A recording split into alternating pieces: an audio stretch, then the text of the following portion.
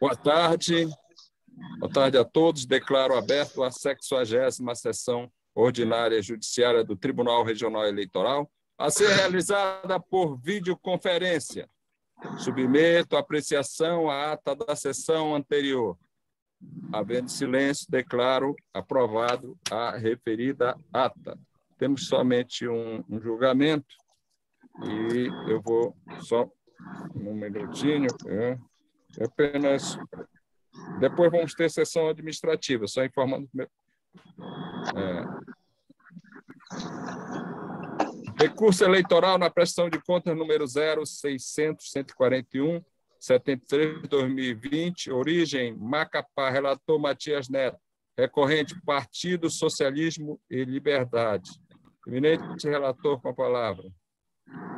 É, senhor presidente, eminentes pares e a todos que nos assistem, trata-se de recurso eleitoral interposto pelo Partido Socialismo e Liberdade, PSOL, Diretório Municipal de Macapá, em face da sentença proferida pela juíza eleitoral da segunda zona, Macapá, que desaprovou as contas do órgão partidário municipal referentes às eleições de 2018 em razão da ausência de abertura de conta bancária específica para o pleito de 2018 e, consequentemente, a não apresentação dos extratos bancários respectivos. Em suas alegações, o partido recorrente alega que houve a abertura de conta específica para a movimentação de recursos da campanha de 2018 junto ao Banco do Brasil, agência 4544, conta corrente 435708, cujo extrato de 1 de janeiro de 2018 a 31 de dezembro de 2018 comprovaria a ausência é, de movimentação financeira e que as demais impropriedades formais verificadas não ensejariam a desaprovação das contas. Alega ainda que a sanção de perda do direito ao recebimento de cotas fundo partidário por três meses foi desproporcional ante a ausência de movimentação financeira no período. Ao final, requereu conhecimento e provimento do recurso para a reforma da sentença com vistas à aprovação das contas com ressalvas, ou, em caso de não provimento, a redução da sanção de perda da cota do fundo partidário de três para um mês. A Procuradoria Regional Eleitoral, em parecer, pontuou que a ausência de comprovação da abertura de conta corrente específica para o registro do movimento financeiro de campanha relativo às eleições de 2018 é irregularidade grave que compromete a transparência e a confiabilidade das contas, razão pela qual opinou pelo conhecimento e improvimento do recurso. É o relatório Senhor Procurador Regional Eleitoral. Senhor presidente, boa tarde. Boa tarde aos demais integrantes dessa corte. O Ministério Público Eleitoral reitera o parecer, tal como indicado é, pelo relator, no sentido de improver, desprover o recurso, notadamente pela ausência de conta criada específica para a eleição de 2018. Há precedentes que foram mencionados no parecer eleitoral que demonstram que o TSE corrobora esse entendimento. É a manifestação, excelência. Relator. É, no que se refere à admissibilidade, o recurso é tempestivo, preenche os demais pressupostos recursais, tanto os pressupostos intrínsecos e extrínsecos, razão pela qual conheço do recurso. Alguma objeção? Vossa Excelência pode prosseguir. É, o Diretório Municipal do PSOL e Macapá busca, pelo presente recurso, a reforma da sentença que desaprovou as suas contas eleitorais relativas ao pleito de 2018, ao argumento de que a juíza eleitoral da segunda zona não considerou, em sua decisão, a existência nos autos de comprovação da conta bancária aberta pelo órgão partidário com a finalidade específica de registrar a movimentação financeira de campanha, ainda que sem movimentação no referido período. Com efeito, consta nos autos o extrato bancário eletrônico da conta é mantida junto ao Banco do Brasil, agência 4544, dígito 6, conta corrente número 43578, 570, dígito 8, cujo titular é o Diretório Municipal do PSOL. Todavia, tal conta, conforme os extratos juntados pelo próprio partido, referem-se à conta bancária cuja abertura se deu em 15 de agosto de 2016. Portanto, não se trata de conta específica para o registro de movimentação financeira de campanha, na forma do que dispõe o artigo 10 e seguinte da resolução TSE número 23 553 de 2017, resolução esta aplicável às eleições de 2018. Outro ponto de destaque é que a prestação de contas foi apresentada como sem, abre aspas, sem movimentação. Portanto, os extratos bancários referentes ao período deveriam, obviamente, demonstrar a inexistência de qualquer movimentação financeira. Todavia, os extratos apresentados contêm despesas tarifárias não contabilizadas, de forma que os extratos apresentados, a toda evidência, não corroboram as informações constantes no extrato da prestação de contas final, comprometendo, portanto, a regularidade das contas. A respeito da não abertura de conta bancária específica, a jurisprudência do Tribunal Superior Eleitoral tem sido ressonante ao assentar que a falha por si só serve bastante para ensejar a desaprovação das contas, ainda que não ocorra arrecadação ou movimentação de recursos. E aí, para corroborar esse entendimento, eu colo é, um julgado da relatoria do ministro Alexandre de Moraes, que eu pouco de fazer a leitura. Desta forma, a apresentação de conta bancária preexistente não supre a obrigatoriedade da abertura de conta bancária específica e, consequentemente, a apresentação dos extratos respectivos, mesmo que não ocorra arrecadação ou movimentação de recursos financeiros de campanha, situação que revela o acerto da decisão proferida pelo juiz eleitoral de primeiro grau, no sentido de julgar desaprovadas as contas, na medida em que a omissão impede a adequada aferição do fluxo de recursos financeiros do partido, comprometendo a confiabilidade das informações apresentadas à Justiça Eleitoral. No tocante ao quanto da sanção de perda do direito ao recebimento do fundo partidário do ano seguinte ao trânsito em julgado da decisão, entendo adequada a fixação em três meses, tal como consignado na sentença de julgada, dada a gravidade da falha que, como já destacado, compromete efetivamente a regularidade das contas. Pelo exposto, tem-se que a sentença que desaprovou as contas do, do Diretório Municipal do PSOL em Macapá não merece reparos. Assim sendo, voto pelo não provimento do recurso. É como voto. Alguma objeção? Resultado do julgamento.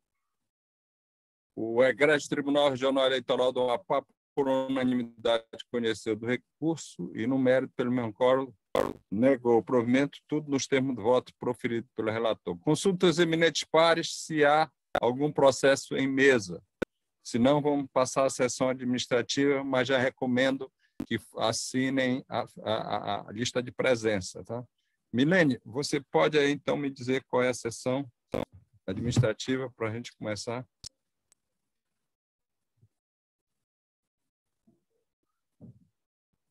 Vem, Milene.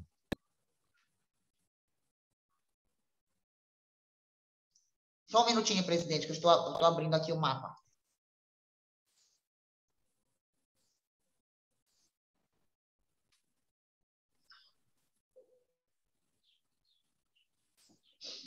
É a, a, a 27 a 27 administrativa, presidente. Então, havendo coro, declaro aberto a 27 sessão administrativa. Tá?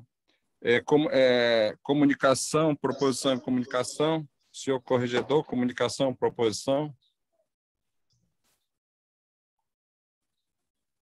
Nenhuma, presidente, nenhuma. Leonardo Hernandes, comunicação, proposição. Nenhuma, senhor presidente. Muito obrigado. É, juiz, juiz Augusto Leite. Presidente municipais. Excelência, só lembrar que hoje é o dia da bandeira, que isso é muito importante para o marco, ah, que representa a nossa pátria, a nossa, a nossa união. É muito importante relembrarmos isso. No mais, não tem outras comunicações. Obrigado, presidente. Augusto, é, Matias Pires.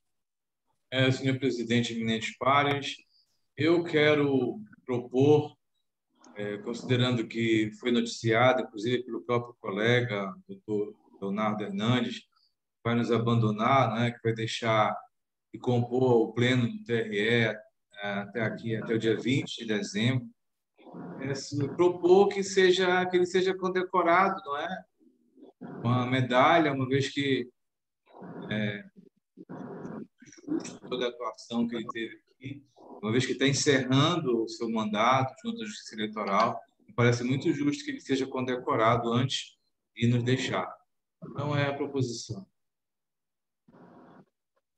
Vossa Excelência já adiantou isso aí. Acho que não há objeção, vamos só depois, então, marcar a data com o doutor Leonardo Hernandes para ver. É...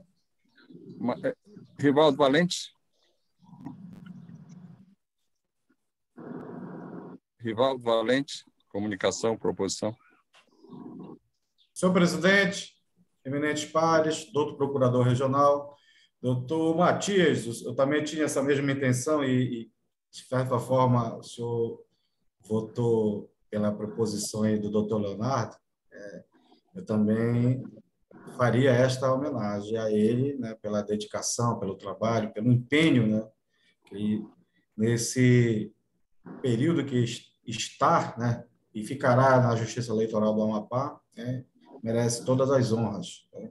Então, só isso para registrar, senhor presidente, sem mais. Senhor Procurador Regional Eleitoral. É, nenhuma proposição, o Ministério Público Eleitoral apenas secunda as manifestações dos juízes Rivaldo Valente e Matias Pires Neto, e no sentido de externar e reconhecer a atuação altiva do juiz Leonardo Hernandes, a qual o Ministério Público Federal tem deferência, respeito e admiração. Obrigado. Eu quero registrar também o Dia das Bandeiras, né? Isso é muito importante. E eu sou o, aqui o mais idoso. Parece, sou mais idoso, né? Então, é, ainda quando criança, era uma data que se comemorava, início dos anos 60, nas escolas. O doutor Matias se perfilava. Até hoje eu fico em posição de sentido quando o hino nacional toca. Eu sei cantar, aprendi lá na Escola Paroquial Quadridário, era obrigatório. E depois, evidentemente, que eu fui lobinho, fui escoteiro até entrar no Exército Brasileiro. Como soldado, depois cheguei a oficial R2. Então, era essa aqui é uma questão de patriotismo. Eu vejo isto e sabe, senhores, que eu fiz tratamento até da face nos Estados Unidos e, nomeadamente, no Texas. Eu admiro muito o patriotismo deles, o amor que eles têm pela pátria e pelas bandeiras. Cada casa tem a bandeira do Texas, a bandeira dos Estados Unidos e, às vezes, é uma, uma outra bandeira de algum. Eles têm, no mínimo, isso. E o amor que se tem é uma questão de respeito que a gente precisa ter. Nós precisamos amar nosso país, amar nossas coisas, sem fanatismo, é evidente, sem nenhum fanatismo, mas amar nosso país, amar nossas coisas. E a gente está se perdendo. Dificilmente hoje o jovem, quando toca o nacional, um está olhando para o lado, outro está olhando para o outro. É, hino, da bandeira, hino da bandeira ninguém sabe, enfim. É interessante, a gente fica até preocupado com o que pode acontecer no futuro. Em relação ao doutor Hernandes, é, eu, eu também aprovo e parabéns, doutor Hernandes, seja sempre essa casa aqui que vai continuar a sua casa, o senhor estando em Belém.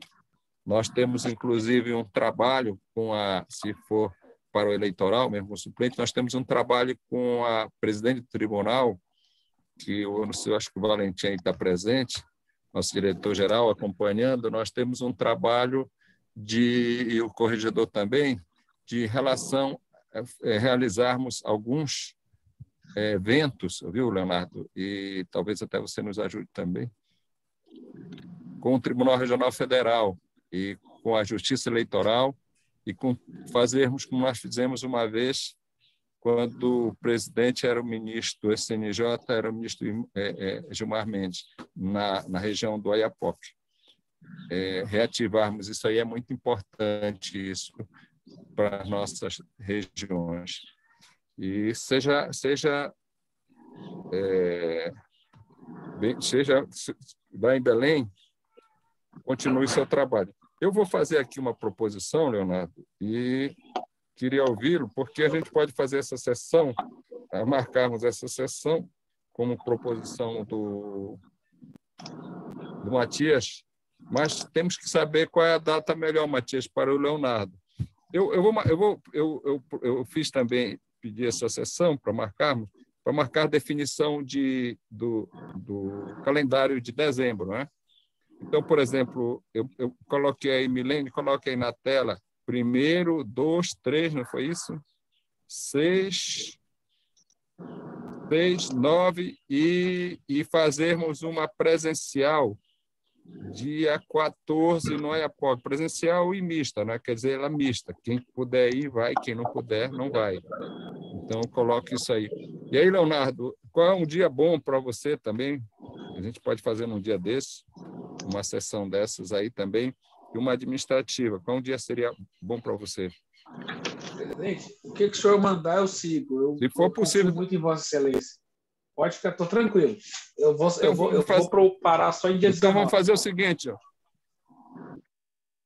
Então, vamos fazer o seguinte: estude bem isso, que já realmente, é, às vezes, você deve ter ficado assim, é, não sabia.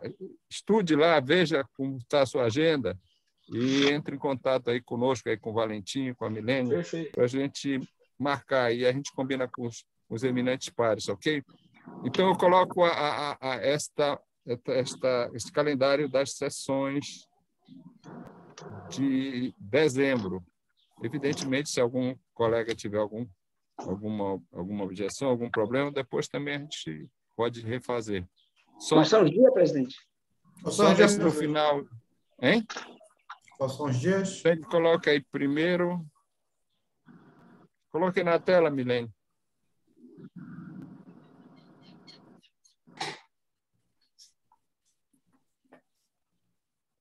Hein, Milene? Um, dois, três. Primeiro, dois, três, não é isso? Isso. É, primeiro, dois e três cai quarta, quinta e sexta. Aí, dia seis, segunda, Dia 6, segunda, 9 e dia 14 no Ayapoque. Dia 14 é dia, é, é dia Nacional do okay. Ministério Público, presidente. Dia 14 é o Dia Nacional do Ministério Público. Consultar aí o seu é, procurador, é facultativo lá, né, Pablo? Eu acredito que não, doutor Lages. É, eu estou vendo aqui, puxando o nosso calendário, eu acho que não teremos é, feriado nesse dia. Mas, é, de qualquer jeito, quem faria seria a doutora Tereza, porque eu vou estar é, em férias. Mas deixa eu puxar o nosso calendário aqui para ter certeza se, nos, se estaremos funcionando ou não. Só um minutinho. É, eu, eu, pediria a modificação do dia 3, porque o dia que, eu, como eu falei, vou estar participando do encontro em, BH, em Belo Horizonte, pelo Colégio de Ouvitores da Justiça Eleitoral. Se puder modificar, eu gostaria, o dia 3. Da mesma forma, senhor presidente, o dia Ficaria 3... Um, Da mesma forma, o dia 13, eu pedi então, a ficaria dia 6. Dia 6, dia 10, ou dia, dia 3, 6. dia 10. 6 e 7. Dia 6, dia 7 e dia 9. 6, 7 e 9. 7 seria domingo. Ok? Não, peraí. 7 é. 7 é terça. Não, 7 não é, é domingo. Não, não, não, tá certo. Não é domingo. É uma terça-feira, 7. Tá. Milênio, no dia 7, coloque só um processo, tá? Pouco processo no dia 7. Não coloque forte, porque sempre nós temos sessão na terça-feira lá no TJ, tá? Ok? Ok, Milênio?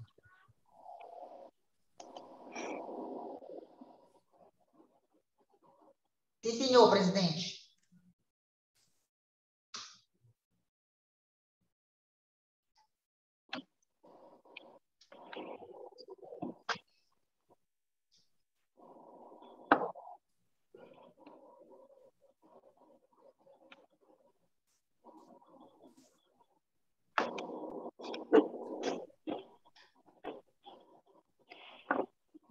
Presidente.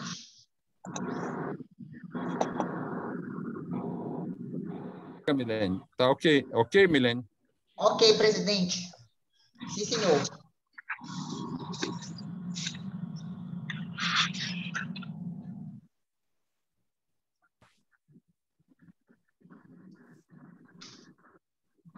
Presidente, estou tentando descobrir aqui se vamos trabalhar no dia 14 ou não. Já confirmo um minutinho só, por favor.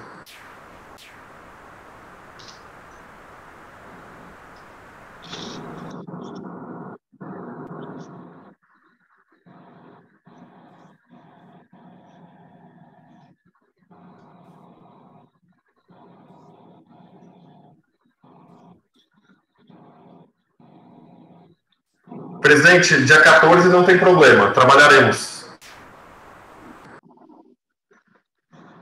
Confirmado dia 14, então, certo? Ok. O senhor proclamar a decisão, presidente. É, ficaria, então, dia 1 Helene, dia 2, é isso? Isso. Dia 6, 7, 9 e 14, não é? Correto? Sim, senhor. Correto, presidente. Ok. É, não havendo, não havendo. Agora, a próxima sessão será na próxima semana, dia 24, não é, Milene? Dia 22, presidente, segunda-feira. Dia 22, perdão. Hein? Segunda? Sim, senhor. 22, 22 dia 22, é? segunda-feira. É. É a nossa penúltima sessão. Penúltima ou é a última? Penúltima. A última Quando será a é última, dia 24. Hein? Dia 24, quarta-feira. Ah, ok. 22 e 24. Tá. Então é segunda e quarta, não é? Sim, senhor presidente. Tá. Eu agradeço a presença de todos e Desejo a todos também um bom fim de semana e declaro encerrado a presente sessão. Muito obrigado. Esque... não esqueçam, assinem, assinem a presença, tá? A, ficha, a presença. Assinem a presença. Presidente. Obrigado, presidente. Boa tarde a todos. Bom final de semana. Boa tarde a todos. Bom fim de semana. Boa tarde a todos. Bom final de semana. Boa tarde. Boa tarde. Milene, quem foi que ganhou da OAB, hein? É, eu vou saber agora, desembargador, mas com certeza foi a chapa 10 do Alinei. Estava forte a chapa dele de macho. Mas eu, eu, vou já lhe informar. Eu informo o Diogo já já para lhe informar. Até logo, então, Até logo. Até logo. Até logo.